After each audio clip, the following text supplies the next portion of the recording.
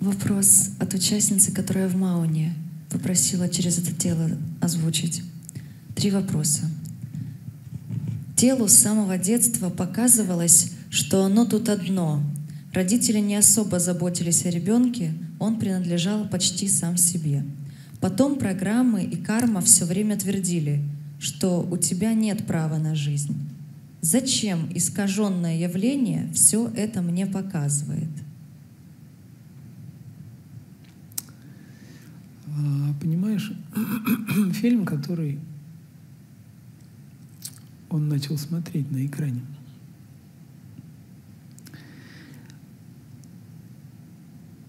ведет своей драматургии, кульминации. И если ты увлечена, увлечен этим фильмом, то переживания все произойдут. Понимаешь? Переживания кульминационных моментов той драматургии, которая происходит на экране. Перед глазами разворачивается кармическая история какая-то. И она переживается. Такова природа сна. Вспомните ночные сновидения. Вот закрыли глаза, а потом вдруг что-то появляется. Так ведь? Какое-то действие, что-то там как будто персонажи какие-то, что-то куда-то ходится, что-то делается кем-то. И этот сон может довести до крайности, пока в холодном поту, собственно, не, вообще не, не пробуждение не случится. Так и тут. То есть до, до вот этого кульминационного момента должно дойти драматургия. Настрадаться надо так, что как бы в холодном поту просто ну, должен пробудиться. Готовность должна возникнуть. Вот, вот что происходит. В продолжении Зачем этот замкнутый круг сначала навешивать ребенку программы, а потом во взрослом теле просыпаться вновь? И если это чья-то игра, то кто в нее играет? Замкнутый круг возник, потому что возникла вот эта эпидемия, понимаешь? То есть так или иначе, так или иначе ребенок вынужден заразиться, понимаешь, от своих родителей – Э, этим вирусом, вирусом вот этого эго, которое наполняется ядами и отравляет тело. Вызывая страдания всевозможные, понимаешь, там невозможность долгого пребывания тела в этом в чистом божественном наслаждении, понимаешь? А, а погружение в страдания – которые перечеркивают всю божественность, божественность, чистоту, все блаженство перечеркивают. Вот зачем, зачем так происходит? Так сложилось, понимаешь, так играются энергии, так сейчас танцуются энергии. Кали-юга, так называемая, она описана – именно своими разрушительными энергиями описана. Она описана тем, что происходит с сознанием. Понимаешь? Описано тем доминирующим фактором а, самого сновидения, которое кошмарное. Понимаешь? Такова природа вот этого, этой эры.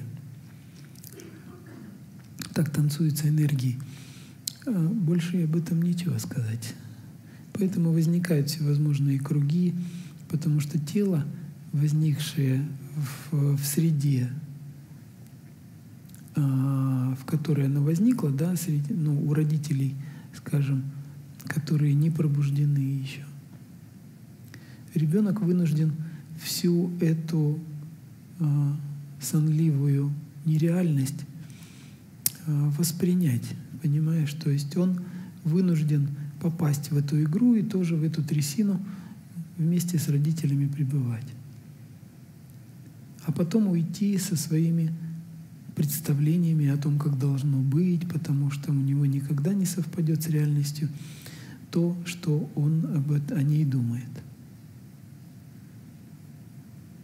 Поэтому и возникает вот тот круг, понимаешь, на который каждый раз, каждый раз, в каждой жизни опять заходишь на, на круг со своей кармой, начинается отработка и так далее. Бесконечная беготня хомячка в этом колесе. Благодарю. Следующий вопрос от нее же. Если идти и пребывать к пробуждению, и если все предрешено, получается, все равно придется отрабатывать карму жизни, просто уже со смирением. И чтобы не так мучительно было в Бордо. То есть и там, и там все равно будут страдания. Что ты пришел к пробуждению, что не пришел. Нет того, кто приходит, или того, кто уходит. Понимаешь, нет того, кто приходит к пробуждению. Пробуждение случается по, по готовности. Если эта готовность возникла, то вы обнаружите свое тело в этом зале. Вот и все. Как наработать смирение, если по карме тебе все равно прилетают страдания? Осознанием. Осознанием только осознанием того, что без смирения и служения никак не подняться, не очиститься.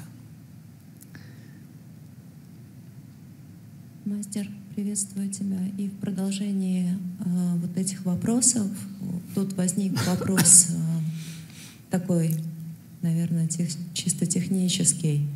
Если говорилось о том, что э, человеческое существо, нарабатывая карму, и дальше идет дальше после смерти и потом в перерождение, угу. как индивидуальное сознание, то также говорилось о том, что когда ребенок рождается, первые три года он э, чистое сознание до своего первого воспоминания.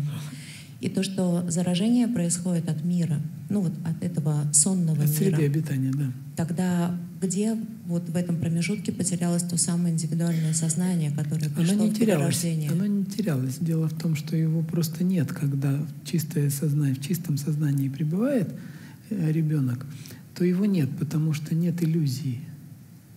А потом она активируется.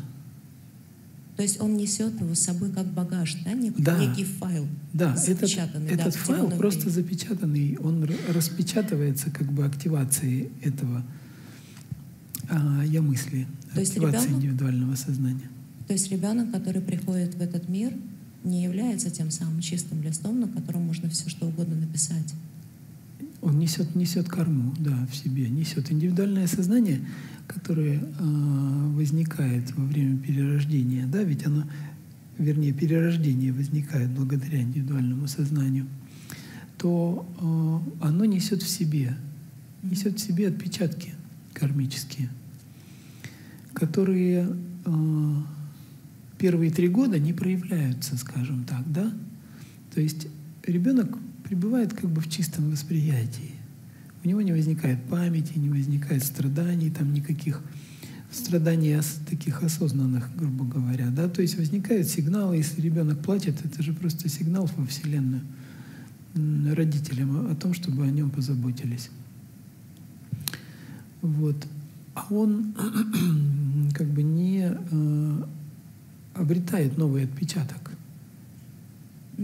Понимаешь, новый отпечаток кармический. Отпечатки э, возникать начинают только тогда, когда он обретает, вернее, активируется в нем э, индивидуальное сознание. Эго, я мысль. Вот тогда и начинает, начинает карма, та, которая была вылезать, активироваться, как бы снова проявляться, ну и так далее. И вихри кармические уносят уносят, уносят, уносят, уносят. То есть я правильно понимаю, что а, индивидуальное сознание с вот с этим запечатанным файлом в виде, а, ну, в виде кармы, да, которая еще не раскрылась, да. вместе с вот этим заразой да, этого сонного мира да, в совокупности, она как бы пробуждает. Наверное, поэтому дети, если посмотреть четырехлетних детей, они все разные, да. хотя всем четыре года. Да, а, конечно. Тогда еще один вопрос отсюда, который выходит. А если э, в этот мир пришла, ну, скажем так, чистая сущность, ну, как Бодхисаттва,